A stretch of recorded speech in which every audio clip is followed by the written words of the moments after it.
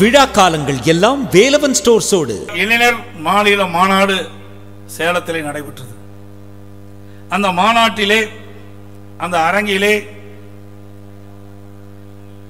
NEET தேர்வு ரத்து செய்வதற்காக பல தரப்பிடமிருந்து வாங்கப்பட்ட கையெழுத்து அவருடைய கூட்டணி கட்சி தலைவரிடத்திலிருந்து வாங்கப்பட்ட கையெழுத்துக்கள் எல்லாம் சிதறி கிடந்து காலிலே மிதிபட்டு குப்பை தொட்டிக்கு போன காட்சியை நாம் தொலைக்காட்சியிலே பார்த்தோம். இதுதான் நீட் தேர்வு ரத்து செய்கின்ற ரகசியம். இதற்கு முன்பு ஒன்று செய்தார். ஊர் ஊராக போனார். அன்றைக்கு எதிர்க்கட்சி தலைவராக இருந்த ஸ்டாலின். அவருடைய முன்னாள் அமைச்சர்கள் அப்பொழுது சட்டமன்ற உறுப்பினராக இருந்தார். ஊர் ஊரா போய் ஒரு திண்ணையை பார்த்து பெட்ஷீட்டை போட்டு அமர்ந்து உங்களுக்கு என்ன குறை இருக்குது சொல்லுங்க. நான் ஒரு பெட்டி வச்சிருக்கிறேன். எப்பவுமே பெட்டி மேல தான் கண்ணு. ஸ்டாலினுக்கு. மக்கள் மீது கண்ணு கிடையாது. பொட்டி வாங்கி வாங்கி பழக்கம் இல்லை. அதே பெட்டியை வைத்து உங்களுடைய குறைகளை நீங்கள் எழுதி மனுவாக அந்த பெட்டியிலே போடுங்கள். அந்த பெட்டியை பூட்டி நான் பத்திரமாக வைத்துக் கொள்வேன் என்று சொன்னார். ஆட்சிக்கு வந்தவனும் அந்த பெட்டியை பூட்டை திறந்து பெட்டியை திறந்து இருக்கின்ற மனுவை பரிசீலித்து உடனுக்குடன் நிறைவேற்றுவேன் சொன்னார். சாவி தொலைஞ்சு போச்சாட்டு இருக்குது. இன்னும் கிடைக்கல. எப்படி தந்திரமாக கவர்ச்சியாக மக்களிடத்தில் பேசி மக்களை கவர்ந்து மக்களை ஏமாற்றி ஆட்சிக்கு வந்தால் என்பதை நீங்கள் எண்ணி பார்க்க வேண்டும். அதற்கு பிறகு மற்றொன்றையும் சொன்னார். நான் முதலமைச்சர் ஆனவுடன் நீங்கள் எழுதி என்னிடம் வைத்த கோரிக்கை பெட்டியிலே போட்டிருந்தாலும் அதை நிறைவேறவில்லை என்றால் என்னுடைய அறை திறந்தே இருக்கும். எப்பொழுது வேணாலும் நேரடியாக வந்து என்னை சந்தித்து உங்களுடைய குறைகளை தீர்த்து கொள்ளலாம் என்று சொன்னார். எத்தனை பேரை நீங்க நேரில் பார்த்தீங்க? உங்க மந்திரியே பார்க்க முடியல. உங்க எம்எல்ஏ பார்க்க முடியல.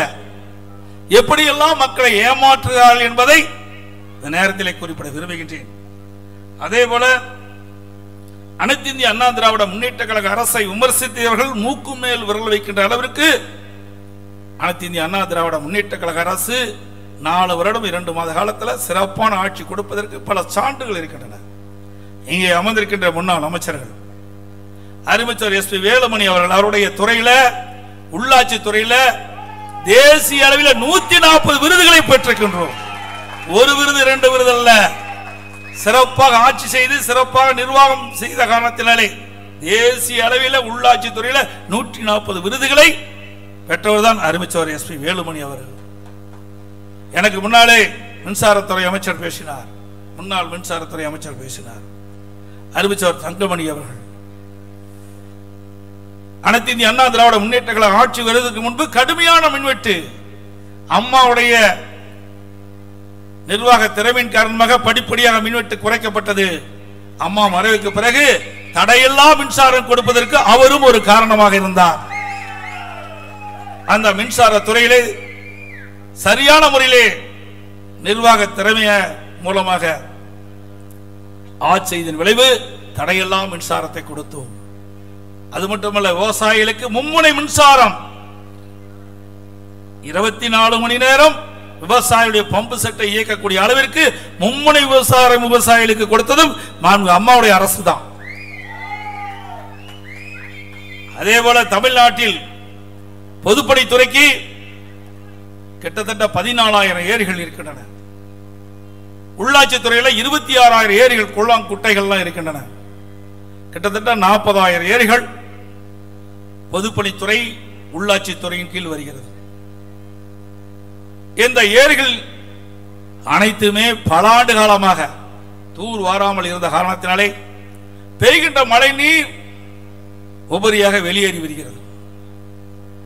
இது என்னுடைய கவனத்திற்கு வந்தவுடன் தமிழ்நாட்டில் இருக்கின்ற பொதுப்பணித்துறையின் கீழ் வருகின்ற ஏரிகள் உள்ளாட்சித்துறையின் மூலமாக ஏரி குள்ளம் குட்டம் அந்த ஏரிகள் அனைத்தும் தூர் வாரப்படும் என்று அறிவிக்கப்பட்டு அதை விவசாய பெருமக்களிடத்திலே ஒப்படைக்கப்பட்டு குடிமராமத்து என்ற அற்புதமான திட்டத்தை கொண்டு வந்து அந்த பொதுப்பணித்துறை ஏரில் அல்லப்படுகின்ற வண்டல் மண் விவசாயியுடைய நிலங்களுக்கு இயற்கை உரமாக பயன்படுத்திக் கொள்ளலாம் என்ற அறிவிப்பை வெளியிட்டு விவசாயிகள் விலையில்லாம அந்த ஏரி வண்டல் மண்ணை அள்ளி தங்களுடைய நிலத்திற்கு இயற்கை உரமாக பயன்படுத்தினார்கள். அதுதான் அதிமுகவுடைய சாதனை. இன்னைக்கு ஒரு லோடு மண் அள்ள முடியுமா? ஒரு லோடு மண் அள்ள முடியுமா? முடியாது. ஆகவே அனைத்து இந்திய அண்ணா திராவிட முன்னேற்ற கழக அரசு அந்த வேதனையிலிருந்து காப்பாற்றப்படக்கூடிய அரசாங்கமாக அம்மாவுடைய அரசு திகழ்ந்தது. அதோடு உங்களுடைய மாவட்டம் ஒரு வறட்சியான மாவட்டம். ஒரு பின்தங்கிய மாவட்டம்.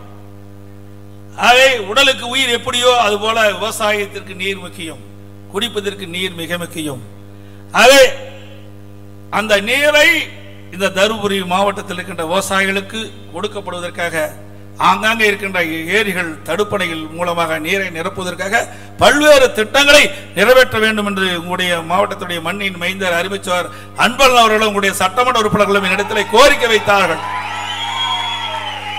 இங்கே இருக்கின்ற விவசாய பொதுமக்களும் என்னை சந்தித்து கோரிக்கை வைத்தார்கள். அவர்களை கோரிக்கை ஏற்று அரூர் குமரன் அணைக்கட்டு அம்மா ஆட்சியில டெண்டர் விடப்பட்டு நிதி ஒதுக்கீடு செய்து பூமி போச்சு போட்டோம். இந்த விடிய திமுக அரசு இப்ப கிடப்பில் போட்டாங்க.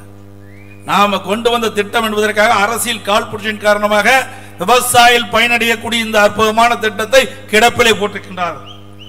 தென்பெண்ணை ஆற்றின் உபரி நீரை ஈசம்பாடி அணைக்கட்டில் இருந்து நீர் ஏற்று மூலமாக எழுபது ஏரிகளுக்கு நீர் கொண்டு சென்று நீர் நிரப்ப ஆய்வு செய்து நிதி ஒதுக்கீடு செய்து அம்மாவின் அரசு.